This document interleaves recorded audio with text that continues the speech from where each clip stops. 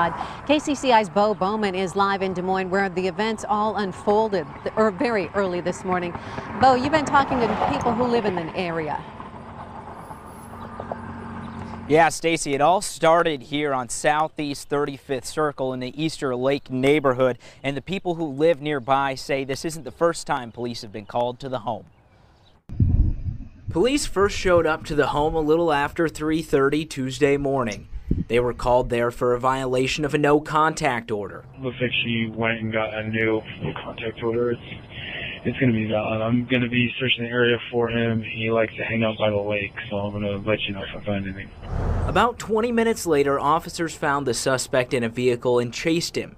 They say the suspect drove the car off the road and got out with a gun. Shots fired, shots. Are you hit? That's the moment when Des Moines police killed the suspect and one officer was shot in the shoulder by his colleague. 30 of them should be pulling up to you shortly. Medics are on their way. They're coming as fast as they can. I've got the whole city coming as fast as they can.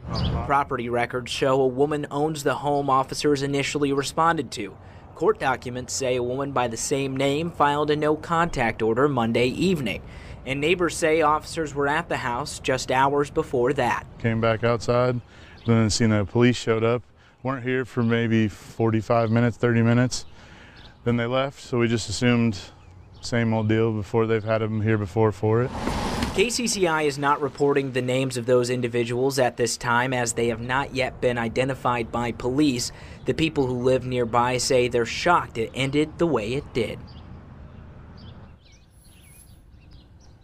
And police add that the suspect's car was stolen out of Council Bluffs just a few days ago, and the license plate on it was stolen here locally just yesterday, which they say could point toward his actions being premeditated.